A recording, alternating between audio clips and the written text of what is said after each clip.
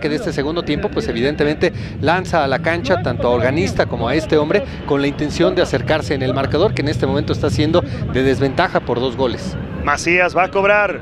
Esta jugada la tienen muy hecha otra vez cuatro sobre el manchón por ahí rondando. Y Ronaldo Cisneros cerca del guardameta, servicio muy pasado, puede tener opción de salida rápida. En contragolpe minero si se apuran, trazo largo para Mascorro, ya no hay nadie, Mascorro se va a escapar, Mascorro lleva a Campiño, Mascorro,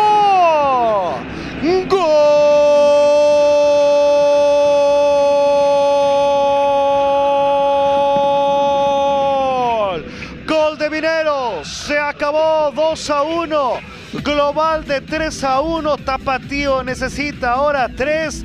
Alexis Monero prácticamente tiene a Mineros en las semifinales. Se escapó.